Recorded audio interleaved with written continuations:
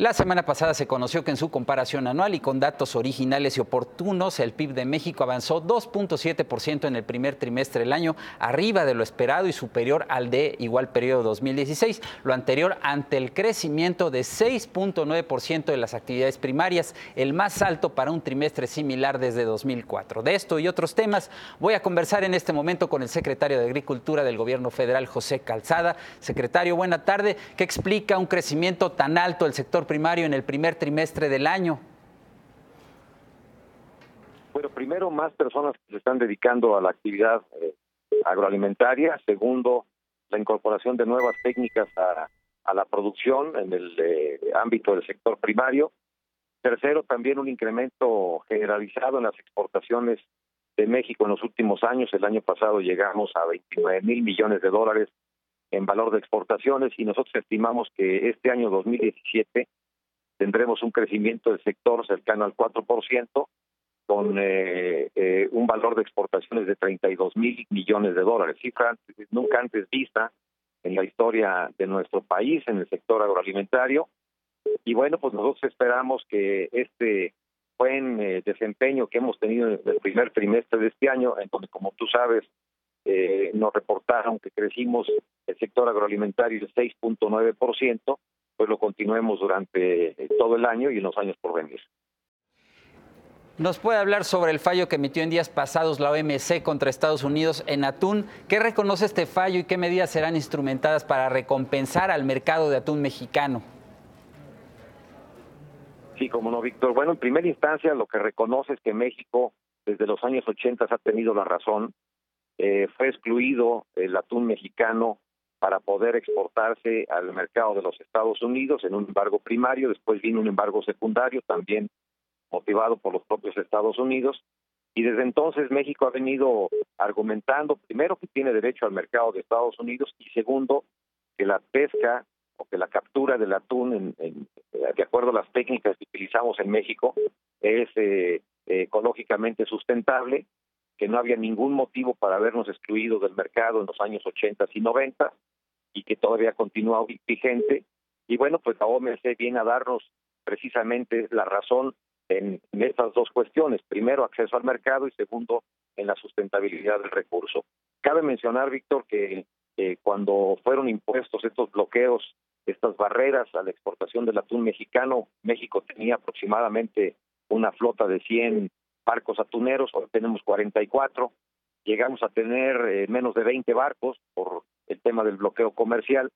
Hoy tenemos 12.000 empleos directos y 50.000 empleos indirectos vinculados con la captura del atún y la venta del atún. Y consideramos que podríamos, eh, si los Estados Unidos abriese su mercado, como lo está sugiriendo a través de estos eh, eh, retaliaciones comerciales que nos otorga ya la Organización Mundial de Comercio, podríamos crecer la captura y la venta del atún entre un 15 y 19%.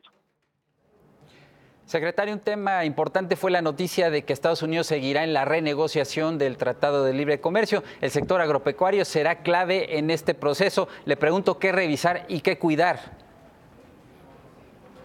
A ver, mira, la verdad, Víctor, es que a través de los años México y Estados Unidos han tenido una magnífica colaboración en todo lo que tiene que ver con el intercambio de bienes en el sector agroalimentario, más a raíz de, la firma del Tratado de Libre Comercio y la entrada en vigor del mismo en 1994. Eh, somos países complementarios, nosotros les compramos maíz amarillo les compramos carne de ave y carne de cerdo, somos los principales compradores de esos tres productos, entre otros.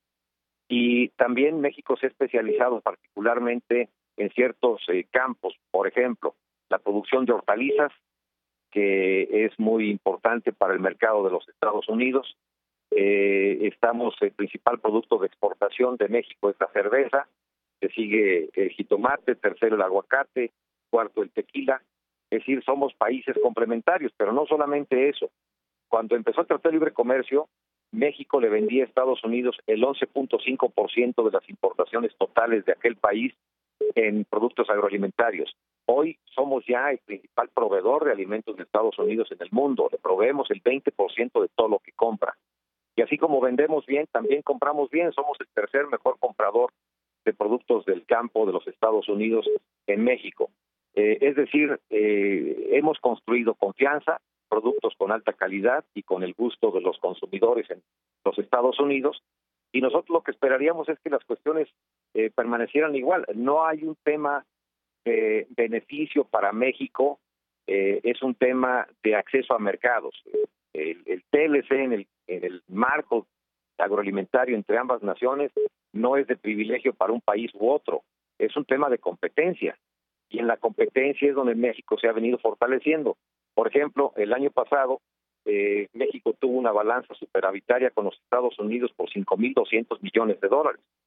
Les vendimos 22.600 millones de dólares y ellos nos vendieron 17.500. Pero nunca, no siempre ha sido así, Víctor. Eh, durante aproximadamente 20 años del Tratado de Libre Comercio tuvimos una, una posición deficitaria en nuestra balanza comercial. Ellos nos vendían más que nosotros a ellos. Esto ha cambiado precisamente por lo que te mencionaba en un principio, que México se ha especializado en productos de mayor valor. Eh, hemos sustituido el volumen de los productos o el volumen de la producción por el valor de la producción y eso pues hoy nos tiene en una posición superavitaria con Estados Unidos y también con el resto del mundo. Un punto determinante para que el gobierno de Estados Unidos decidiera entrar a la renegociación fue la eh, posición de gobernadores y empresarios estadounidenses que defendieron la relevancia del tratado en el sector agropecuario, secretario. Eh, en efecto, es lo que se ha comentado. Pues a ver, somos el principal comprador, por ejemplo, de maíz amarillo. Eh, estamos comprando a Estados Unidos aproximadamente 13 millones de toneladas de maíz amarillo miles y miles de familias se benefician por las compras que hace México. Lo mismo te puedo decir por los grandes productores de lácteos, somos el principal comprador de lácteos eh, eh, de Estados Unidos, eh, de alta fructuosa, de carne de res, de carne de carne de perdón de cerdo, de carne de ave. Es decir, somos muy buenos clientes y lo hemos sido durante muchos años. Entonces, no habría, desde mi óptica, no habría ninguna razón por tratar de modificar las reglas del juego, porque las reglas del juego son justas. Hoy nos benefician a nosotros, no porque las reglas hayan cambiado, sino porque México cada vez es más competitivo y ese es un tema muy importante. Secretario José Calzada, muchas gracias por esta entrevista para el financiero Bloomberg. A ti, Víctor, gracias. Muy buen día. Buena tarde. Ahora hacemos una pausa.